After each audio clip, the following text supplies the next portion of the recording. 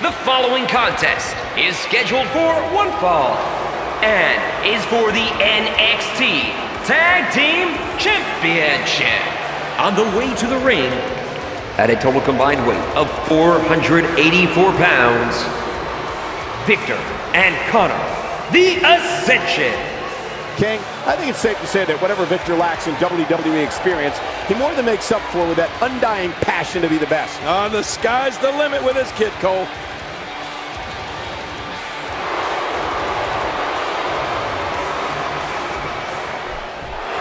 Trying to put him away.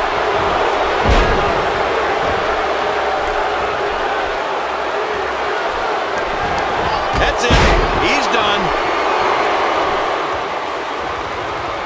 Here are your winners and still NXT Tag Team Champions, Viktor and Konnor, the Ascension. An emotional victory here tonight. Man, oh man, what a battle.